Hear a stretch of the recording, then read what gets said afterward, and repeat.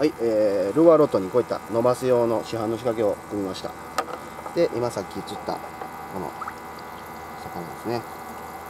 これを羽掛けしていきます。はい。でこれで投入します。でどちらかといえばやっぱイワシの方が、えー、食いがいいのでイワシで。まあなければサバでも大丈夫です。サバの方がよく動きますんで。これをもうそこまで落としていきます。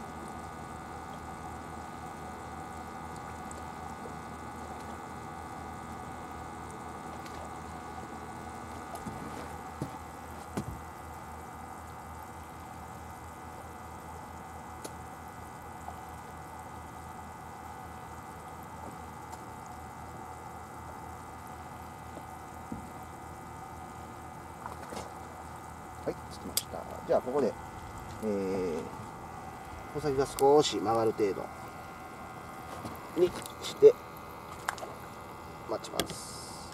で沖縄の鈴木は必ずドラグを緩めておいてください。冬の大物来た時に竿が、えー、飛び込んでしまいますのでまたこういった桶で、えー、竿尻を落として、えー、重しをしてもいいです。こんな感じで。